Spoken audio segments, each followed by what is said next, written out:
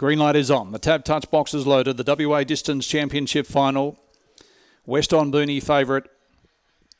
Racing. Jumping quickly near the inside was 90 Mile Rose, also showing speed out wide was Weston Booney, who works across along with Sage to Neil, and Sage to Neil finds the arm. Weston Booney works into second, then followed by 90 Mile Rose, flying through as they swing into the front straight behind them. Sky Manelli, well back was Miss Ronnie Mack, along with Penny Magic. Last of all was Chloe Ant as they go towards the back straight, and Sage to Neil races clear out by three on Weston Booney, then followed by Sky Manelli. Well back behind them was Flying Frida, along with it 90 Mile Rose off the back straight though. Sage to Neil out in front by three. In second place was Weston Booney. Sky Manelli as they start to swing. Sage to nil getting tired. Weston Booney to the outside. Sage to nil in front. Here comes Booney. Weston Booney over the top. Flashing late. Sky Manelli. Weston Booney represents WA.